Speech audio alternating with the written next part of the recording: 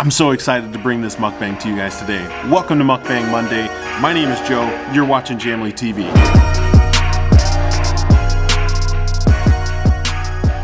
If this is your first time here, please consider hitting that subscribe button down that way. And if you've been here before, thank you, thank you, thank you so much for coming back to watch some more. So uh, usually on the mukbangs, I'm without a shirt. So let's check out you guys' vote. It was a really close vote, but just kidding. Overwhelmingly, you guys, 63% of you said keep the shirt on. So here we go. Sorry, Nacho Ben Niumata, I had to keep the shirt on. The people voted. Next time you need to pull some weight, like put it in your story or something.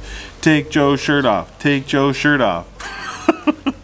Wearing the shirt by Tanoa. Tanoa is an awesome company. I really love them. I really appreciate their work here in Samoa. So please support Tanoa. All right, so today's mukbang is actually from a takeaway place because I decided that takeaway places are where I'm gonna do mukbangs from now on. I'm not gonna do any kind of restaurant mukbangs anymore. I'm only gonna do restaurant reviews now. And mukbangs will come from the takeaway places because there's so many takeaway places here in Samoa where you don't just sit, there's no place to sit down. You just go grab the food and leave and head out. So today's takeaway place, Mukbang Monday, is Mackenzie's. So what we have today is, yeah, Fa'alifu kalo. Looks good. The big plate is, oh, ho, ho, ho.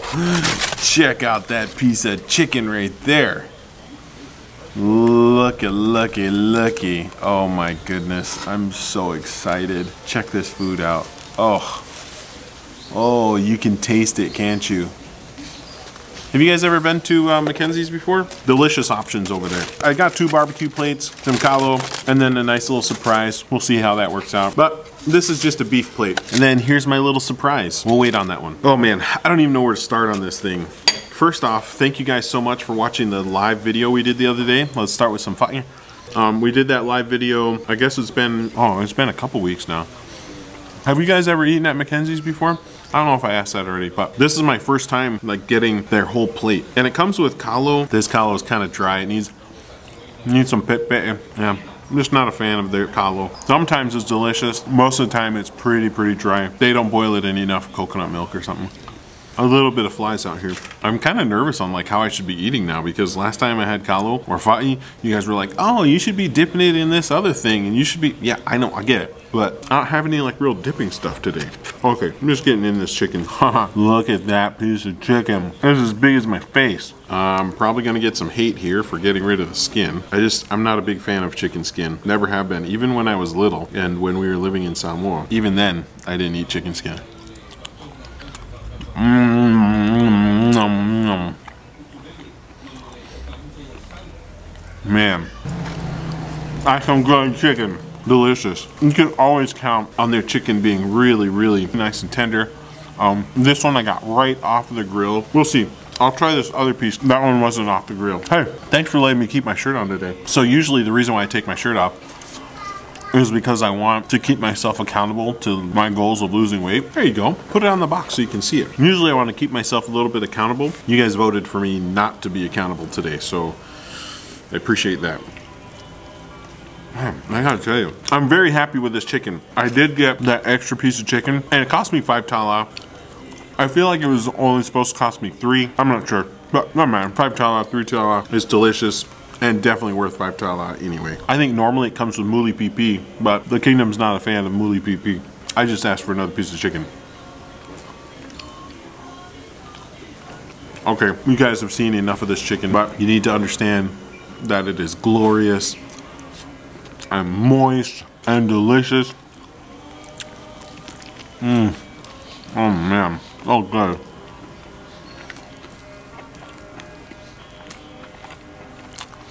So, I've kind of been on a little bit of a diet. That's not why I haven't filmed the mukbangs. Just been really busy. Ever since Alicia went back to the States to sell our house, for those of you that didn't know, she went back to the States to sell our house. We had some renters there and the renters were awesome, but they wanted to buy the house. And right when they asked, we're like, heck no, get out of here. And then we sat down with the owner of Rosie's Burgers to tell him how preposterous the idea was. But then we started talking about our five-year goals. Our five-year goals have changed since we came out to Samoa. When we left the States, originally we wanted to stay here in Samoa for, for two and a half years. But after being here, we changed our plans a little bit. mac salad, and rice. For those of you that have been to L&L's in the States or in Hawaii, I haven't found a mac salad here in Samoa that can compete with L&L's at all. Or what's that other place? There's a place in Haula. Uh, shoot. Tell me in the comments below. I can't remember what it is. My sisters know it, and my brother knows it. What is that place called?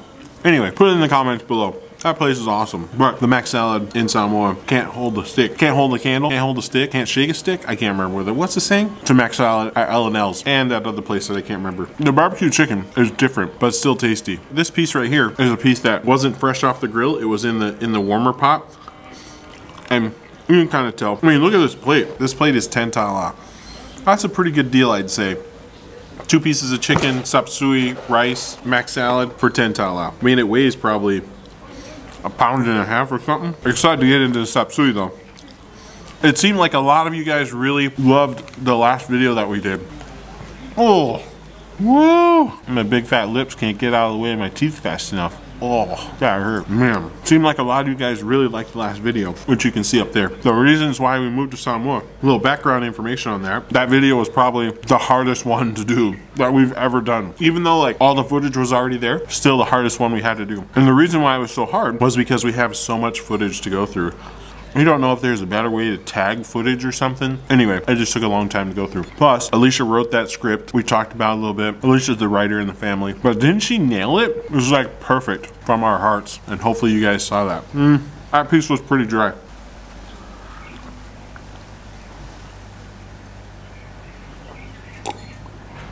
There you go. There's a nice look at it. Nice deep brown soy sauce. It needs a little bit more salt but I think with a little bit more salt, it would be really good. Right now, it's just good. Fa'alifu kalo, for those of you that don't speak Samoan like me, is the taro root that has been boiled in coconut milk with some onions. Coconut milk and onions are kind of a staple here in Samoa. Man, I really wanted this to be better than it is. It seemed like there's plenty of The Fa'alifu kalo I bought outside of Mackenzie's.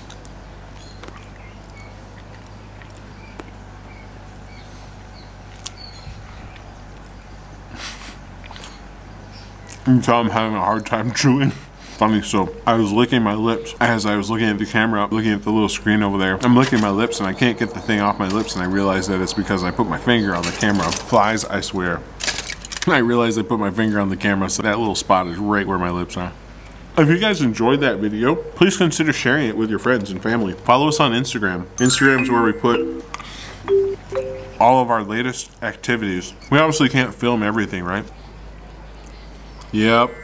Look at that. That's a good shot for you. Mmm. We try to keep the Instagram stories full so that you guys can enjoy those.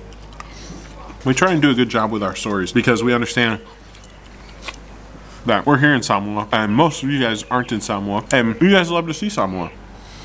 We appreciate the love and support that you guys have given us our YouTube channel and our Instagram. It's pretty incredible. We have 14,000 subscribers now, which is awesome. We still got a long ways to get to our goal. We know that we have to make content in order to get to our goal. And who knows, maybe there's a miracle that's coming in the latter half of November and all of December that'll get us to that mark of 25,000. That's a personal goal that we set when we started the channel. We have a little ways to go still, but with you guys' help, I'm sure we can make it. So here's some beef.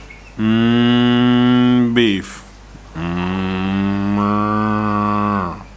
Ah.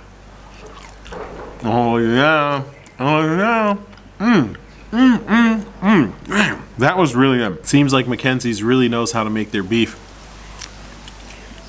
and their chicken because those are definitely better than the kalo, the mac salad, and the sapsui. Maybe just go make that at home by yourself. Get a whole plate of chicken for 10 bucks or a plate of beef because that stuff is really good. Mmm, it's really tender. It's pretty salty, nice sugar to it too. And maybe for some of you, especially those diabetics, because I know you're out there, probably too sugary for you. But man, super tender, sliced really nice and thin as you can tell. But you can kind of see it's almost like a syrup on there because it's so so sweet. Just a very little bit of fat, just enough to give you a little bit more flavor because some people don't like fat, me included. The fat that's on here is complementary to the meat, so don't worry about it. Just peel it off the bone, pop it in, chew it up, swallow it down. Okay, so this is the second piece of quote unquote meat that I've seen in the sapsui. I don't know if you can see this, but It's just fat, and I'm not a fan of just straight out fat.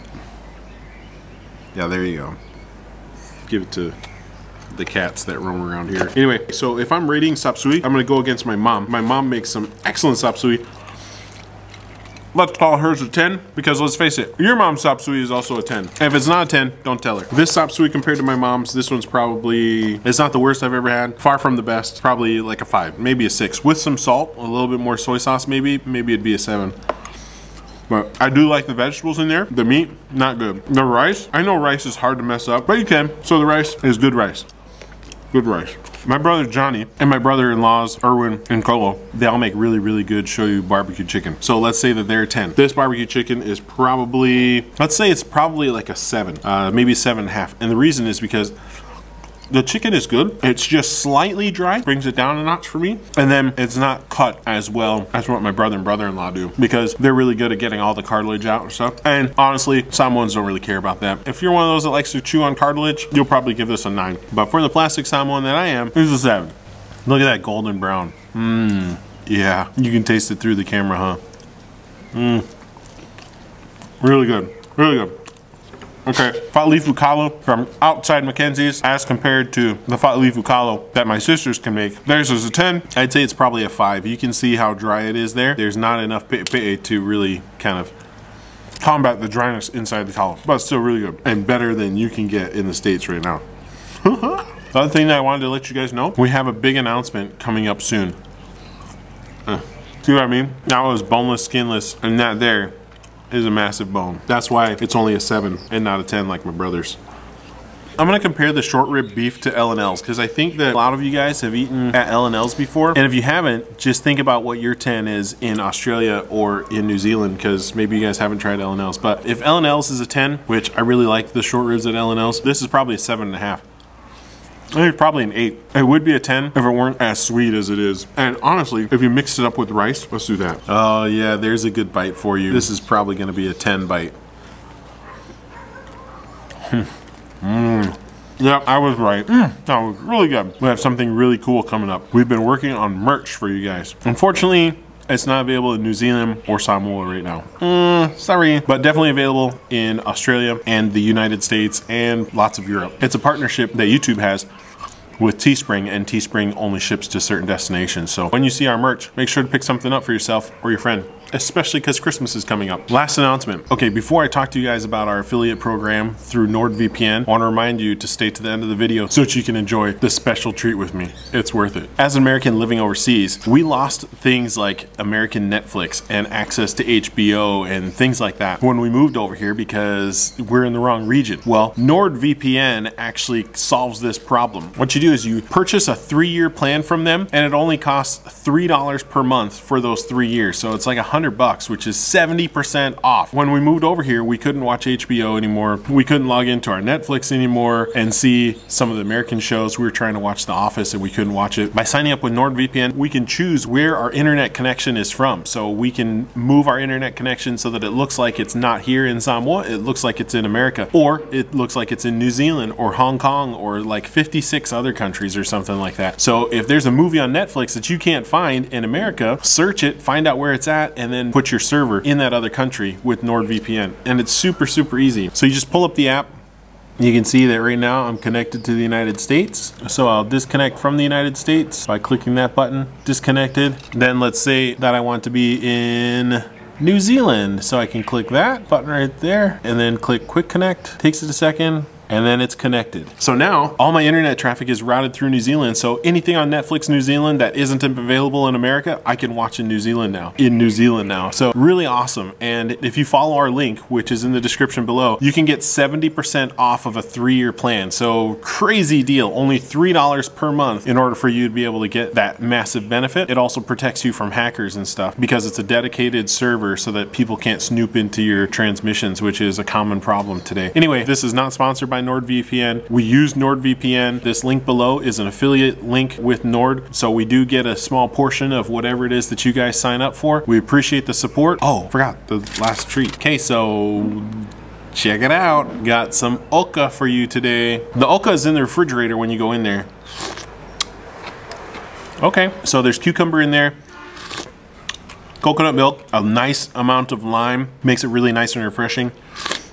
Mmm, okay, so, so far so good. This was five tala, so great value for the price. Wow, okay. That fish was tender.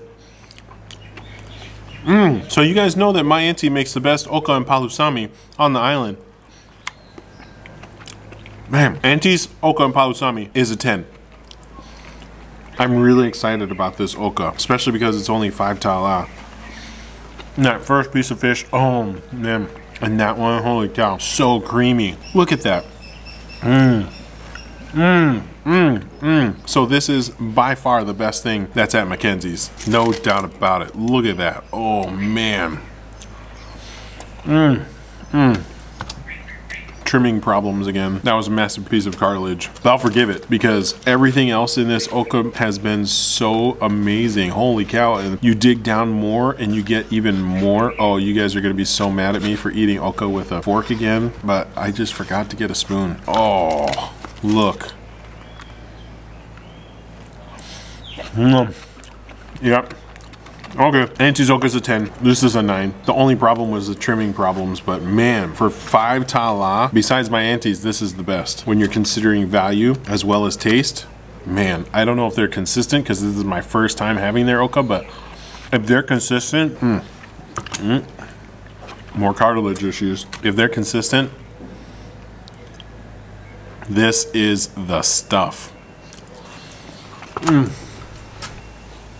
Mmm so good. Hope you guys enjoyed that mukbang. It was really fun. I really enjoyed Mackenzie's barbecue as I always do. Make sure to give it a thumbs up. Give it a comment below about where your favorite barbecue place is in Samoa. Maybe we'll go check it out for you. Consider hitting that subscribe button down that way if you haven't already. We'll see you soon. Manuela Aso Fa.